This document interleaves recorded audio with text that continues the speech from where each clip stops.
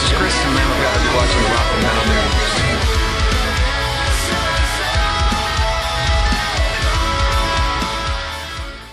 Hey guys, this is Ron from YouTube's Rock and Metal News with a Rock and Metal News update. Architects have released a new song called Phantom Fear through BBC Radio 1's Rock Show with Daniel P. Carter. You can take a listen to the song in the link in the description of this video. Their new album, All Our Gods Have Abandoned Us, is out on Friday, May the 27th. There will also be an in studio session released for BBC on June the 5th.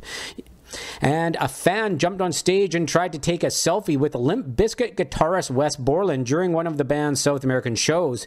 You can check out in the link in the description as Borland pushes the fan away as as he's in mid song and the fan's got the camera in his face just prior to security hauling the fan off.